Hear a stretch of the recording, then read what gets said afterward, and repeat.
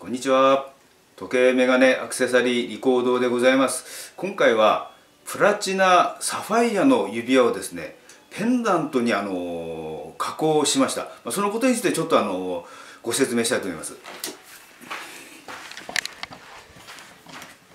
もともとですねあのちょっと指輪ちょっと昔のタイプなんですけどねあのこういうダイヤとか取り巻かないタイプでのあのリングだったんですがそれをあのこのように台座を生かしてあと爪ですね。まあそのまま、まあ、ある程度使えるも使いますので。こういう感じで。あとバチカンは別にこう作ってですねこういう、まあ、こういうこともあの可能でございますので。どうしてもねあの